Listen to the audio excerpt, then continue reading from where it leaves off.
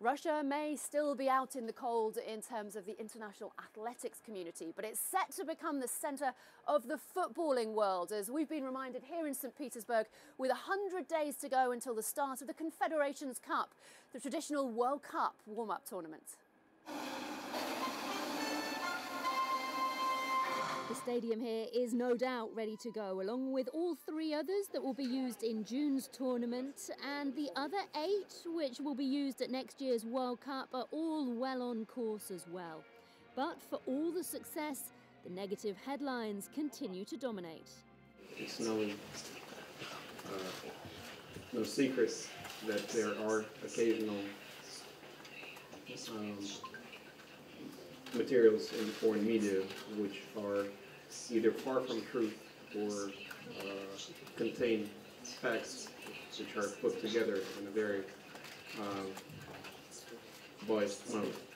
There are some facts, though, that are hard to dispute. Just this week, Igor Lebedev, a Russian MP, called for hooliganism to be made a legal sport, raising fears for the safety of fans travelling to support their teams here in Russia.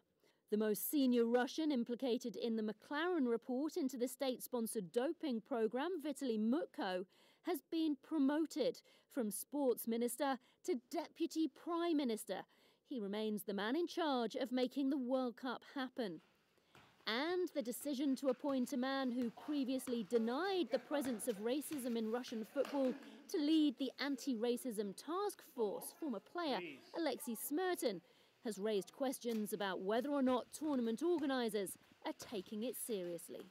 Are you happy that he is the person to lead the anti racism mission here in Russia, given his comments from, from a couple of years ago, where he said racism doesn't exist? Well, the first, I think that uh, we need to give uh, everybody who is a member of um, uh, these uh, uh, committees a chance to get educated on what do we mean by fighting racism.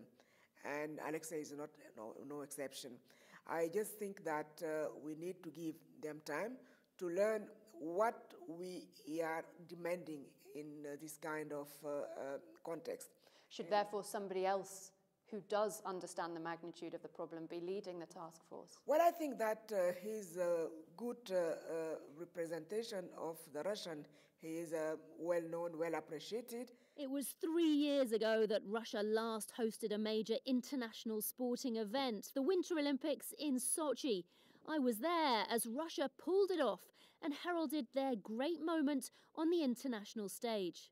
A whole lot has happened since then, both on the political and the sporting stage, and the international focus is on an altogether different scale. But whilst it's made the Russian organisers and above that the Kremlin more determined than ever to make this year's Confederations Cup and next year's World Cup a success, you suspect it will take a whole lot more than that to restore Russia's reputation and sporting integrity. Amanda Davies, CNN, St. Petersburg, Russia.